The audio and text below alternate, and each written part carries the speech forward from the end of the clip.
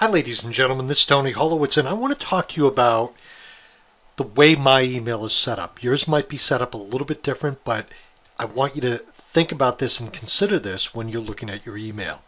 So, I have something called Microsoft 365, and through that, I have an email account.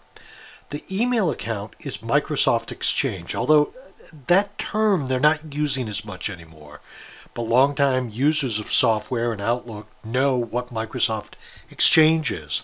The whole concept behind it is that your email account can be set up on multiple devices. For example, this is Outlook that is the physical download on my computer.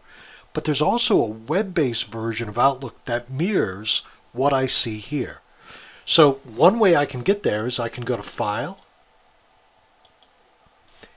Come inside and under account settings, I can click right here to go to my online account with Microsoft Outlook. So it's opening on my other screen, so I'm going to drag it over. And this is my email. It's mirroring or identical to what I see on my desktop. So you'll see I have all the folders and all the different folders down below.